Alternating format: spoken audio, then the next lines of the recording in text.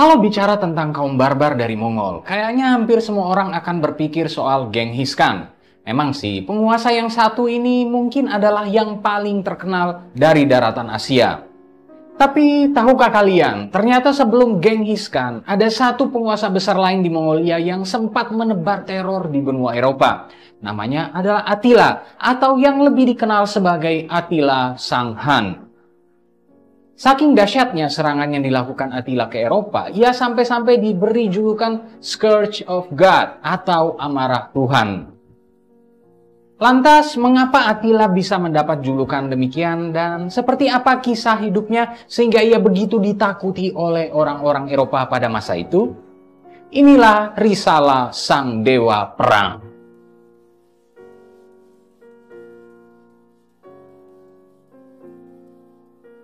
Attila adalah raja terakhir dari kerajaan Han. Ini merupakan kerajaan nomadik yang dipercaya berasal dari Asia Tengah.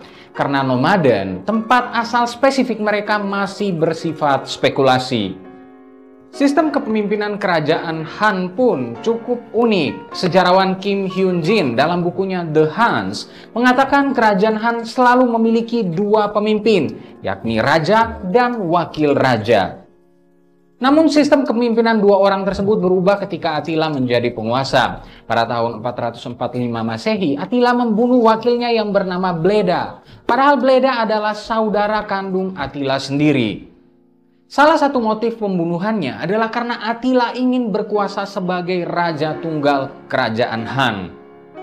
Ketika Attila berkuasa, wilayah kekuasaan Mongol membentang sangat luas, mulai dari sungai Volga di Rusia sampai ke sungai Danube di Prancis. Karena itu, otomatis Attila berseteru dengan adidaya peradaban barat tersebut. Walau Romawi memiliki militer yang sangat kuat, mereka mengalami kesulitan ketika berhadapan dengan Attila dan pasukannya. Ini karena selain jumlahnya yang luar biasa banyak, Pasukan Attila juga mayoritas terdiri dari kavaleri kuda berpanah. Nah, tipe pasukan seperti ini selalu menjadi masalah bagi Romawi. Ini karena pasukan Romawi utamanya adalah infanteri berat. Buat yang belum tahu, infanteri berat adalah sebutan untuk pasukan pejalan kaki yang dilengkapi dengan perisai, baju perang, dan persenjataan yang berat-berat. Mereka umumnya dipakai sebagai bagian dari barisan pertahanan dalam formasi pertempuran. Masalahnya, infanteri berat ini bisa diulur-ulur seenaknya oleh pasukan berkuda dan bisa dengan mudah ditembak dengan panah. Karena itu, beberapa catatan sejarah bahkan menyebutkan bahwa Attila hampir tidak pernah kalah dalam pertempuran dengan Romawi. Salah satu kemenangan terbesar Attila melawan Romawi adalah dalam pertempuran Utus yang terjadi di sekitar wilayah Bulgaria pada tahun 447 Masehi. Ketika itu, Kekaisaran Romawi Timur perlu menghadapi invasi Attila dari utara yang bergerak semakin mendekat ke kota Konstantinopel. Pertarungan ini membuat Romawi Timur kehilangan banyak prajuritnya. Alhasil, Kaisar Theodosius II dari Romawi Timur harus menyetujui perjanjian damai dengan Attila yang sangat merugikan Romawi, yakni berjanji memberi satu ton emas per tahun ke kerajaan Han, ditambah tiga ton emas di pembayaran awal. Tidak hanya di Romawi Timur, kekacauan yang dibawa Attila juga sampai ke Romawi Barat. Dikutip dari laman histori, serangan Attila ke perbatasan Romawi Barat membuat Roma kesulitan mengatur permasalahan politik dan ekonominya. Alasannya karena serangan Attila membuat banyak suku-suku nomaden Jerman pada saat itu migrasi besar-besaran ke wilayah Romawi Barat untuk mendapatkan perlindungan dan tempat tinggal. Karena itu migrasi suku-suku Jerman ini membuat Roma harus mengeluarkan lebih banyak sumber daya untuk menghidupi mereka.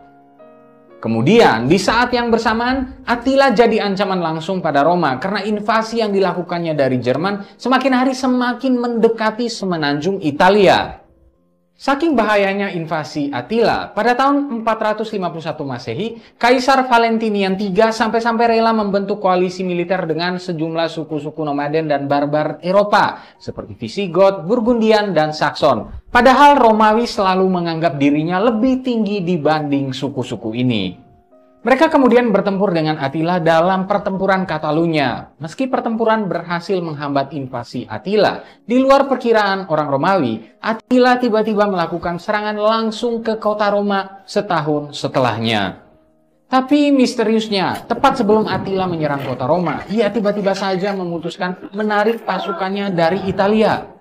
Menurut legenda yang didengar seniman Renaissance Rafael, Paus Leo pertama dari Roma lah yang berhasil membujuk Attila untuk mundur. Legenda tersebut menceritakan bahwa Paus Leo pertama mengajak makan Attila di tepi sungai pinggiran kota Roma. Katanya Paus Leo I berjanji pada Attila jika ia mundur dari Roma, maka keturunannya di masa depan akan menjadi seorang raja besar Hungaria.